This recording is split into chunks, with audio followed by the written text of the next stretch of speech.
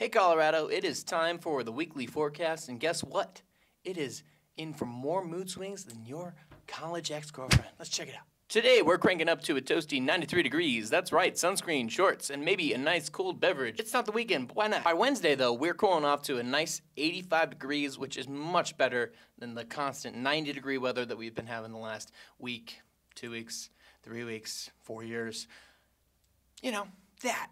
Thursday, dropping to a nice crisp 76 degrees, which is mm, magnifique, perfection, fantastic. Then we're back up to the 80s by the end of the weekend.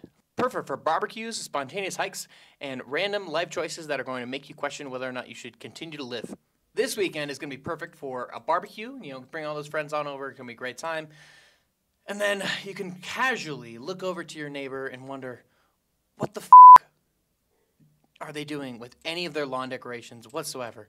There's too many gnomes. There's too many weeds. There's too much too much grass. Too much too, too little grass. Too many rocks. I don't know.